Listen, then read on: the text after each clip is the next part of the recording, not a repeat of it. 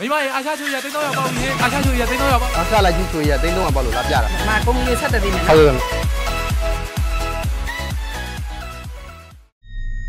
အိန္ဒိယနိုင်ငံက Taj Mahal ဂူတင်ချိုင်းကြီးကိုလာရောက်လေပတ်တဲ့သူဥယေရော့ကျသွားစေခြင်းတဲ့အတွက်လက်မှတ်ဈေးနှုန်းကို၄-၅ဆအထိမြင့်တင်လိုက်ပါတယ်အထူးသဖြင့်ပြည်တွင်းဧည့်သည်တွေအတွက်လက်မှတ်ဈေးကိုတိတိတတ်တာတိုးမြင့်သတ်မှတ်လိုက်တာပါအရင်ကပြည်တွင်းဧည့်သည်တွေဟာ UNESCO ကကမ္ဘာယဉ်ကျေးမှုအမွေအနှစ်အဖြစ်သတ်မှတ်ခံရတဲ့ဒီအဆောက်အအုံကြီးမှာရူပီ90နဲ့ဝင်ရောက်လေပတ်နိုင်ပေမဲ့လည်းအခုတော့ရူပီ250အထိဈေးမြင့်သွားပါပြီ